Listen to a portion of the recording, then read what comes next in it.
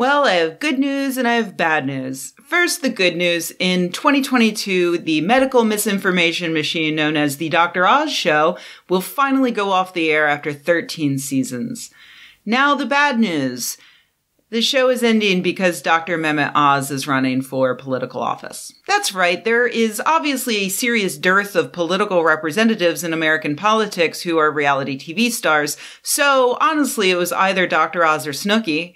Uh, like Snooki, Dr. Oz is a lifelong resident of New Jersey, but unlike Snooki, just last year he changed his voter registration to his in-laws' house in Pennsylvania, just after Pennsylvania's Republican Senator Pat Toomey announced that he would be retiring. What a coincidence that Dr. Oz, a celebrity multimillionaire, would happen to move in with his in-laws just in time to become eligible to run for Senate. As a doctor, with a real degree, I should say. Um, cause, you know, normally when I talk about doctors on this channel, they're not real doctors. Dr. Oz is. Um, but as a doctor and a reality TV show host, Dr. Oz does not have any experience serving in office. However, it is worth noting he has experience in Congress. Back in 2014, he was invited to chat with Claire McCaskill about deceptive practices in the advertising of weight loss products. This was relevant to Dr. Oz because he had recently promoted the green coffee bean diet on his TV show, saying there was a new miracle cure that anyone could take to lose weight without diet or exercise, and research showed that it worked. The research in question was a small study of 16 people paid for by Applied Food Sciences, a company that was hoping to sell green coffee bean pills.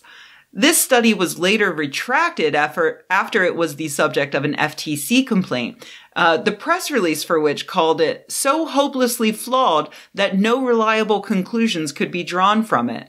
Applied Food Sciences settled with the FTC for $3.5 million. This wasn't out of the ordinary for Dr. Oz's show. He was always promoting some kind of pseudoscience. But in this case, it became an even bigger issue when the FTC went after the expert Dr. Oz featured on that green coffee bean episode. Lindsay Duncan, who claimed to be a doctor despite only having alleged degrees in naturopathy from an unaccredited university. The Dr. Oz show reached out to Duncan asking if he knew anything about green coffee beans. He answered in the affirmative despite having no actual idea what was going on with them. He then rushed to have his own company start selling the beans and edited Dr. Oz's own script to have him direct viewers to Duncan's website to buy the supplements. Dr. Oz just did this, I guess, without asking any questions. And then Duncan did it again by promoting black raspberry on another show as a top cancer fighting supplement. So it wasn't exactly a shock that after several FTC investigations into just one of Dr. Oz's now 1600 plus episodes, Congress would want to talk to the man himself. So here's how that went for him. I don't get why you need to say this stuff because you know it's not true. I mean, I've tried to really do a lot of research in preparation for this trial, and the scientific community is almost monolithic against you in terms of the efficacy of the three products that you call miracles. And when you call a product a miracle and it's something you can buy and it's something that gives people false hope, I just don't understand why you need to do, go there. That there isn't magic in a, in a bottle, that there isn't a magic pill, that there isn't some kind of magic root or acai berry or raspberry ketone that's going to all of a sudden make it not matter that you're not moving and eating a lot of sugar and carbohydrates. I mean, I, I, I, do you disagree with any of these seven? Senator McCaskill, I, I, I know the seven. I say those things on my show all the time. Well, then when why I, would you say that something is a miracle in a bottle? I, I know you feel that you're a victim, but sometimes conduct invites being a victim.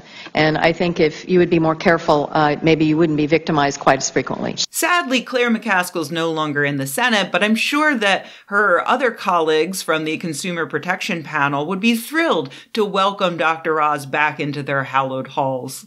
And by the way, I don't want you to think that Oz's problems began and ended with a coffee bean weight loss scam. he has platformed uh, so many quacks that honestly he's giving Oprah a run for her money. And by giving her a run for her money, I mean actually just literally giving Oprah loads of money because she platformed him on her show, then gave him his own show. And honestly, the whole thing is just like a pyramid scheme for quacks. For instance, many years ago, Oprah had the incredible bonkers quack Dr. Christiane Northrup on her show. And I remember it distinctly because Dr. Northrup real doctor, I think, um, had the entire audience stand up and direct their psychic energies to their vajayjays. Direct quote vajayjays because we're children. Northrup went on to appear on Dr. Oz's show discussing the wisdom of menopause, and then in 2020 she became better known for spreading COVID conspiracy theories as one of the 12 most prolific peddlers of misinformation on Facebook, according to a report from the Center for Countering Digital Hate. Also on that list, Joseph Mercola, himself a past guest on the Dr. Oz show. Mercola sells supplements, so he's a natural fit to be an expert on the show to drive naive viewers to his website to give him money. Mercola is virul- virulently anti-vaccine, uh, not necessarily because he doesn't understand the science of vaccines, but more likely, in my opinion, because he can't sell vaccines on his website. Mercola also can't sell actual cancer treatments on his website, so instead, he once tried to sell a tanning bed that he claimed could cure cancer. A tanning bed. Speaking of Facebook misinformation, remember a few weeks back when I talked about Hacker X, who admitted to helping build a misinformation empire that directly led to the spread of anti-vaccine nonsense, as well as uh, violent far-right fascist rhetoric? And remember how that empire turned out to have been run by Mike Adams, uh, the health ranger, creator of Natural News? Well, guess who else has received glowing reviews from Dr. Oz? That's right, Mike Adams, who went on Dr. Oz's show uh, as a whistleblower who found poison in America's food. Mike Adams is not afraid to take on controversy, really all about. buck conventional medical wisdom, or lead a revolution when it comes to your health. I think the public's being hoodwinked in many cases. All of this would be bad enough, but it turns out that Dr. Oz has, in the past two years, completely dropped his previous and apparently phony I'm just presenting both sides narrative of alt medicine and anti vaxxers as he's done the rounds on Fox News to promote whatever unproven COVID treatment was currently favored by Trump and his fellow Republicans.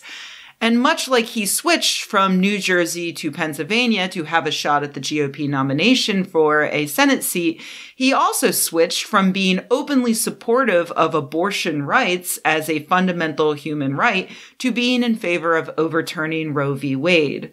Curious. Now he's almost completely in line with all of the batshit views of Trump Republicans, save for one. Dr. Oz is a Muslim. At least he used to be. Uh, I guess let's wait and see what religion he believes in by the time the primaries roll around. It doesn't sound like he has too much of a problem evolving to survive. I mean, if he still believes in evolution.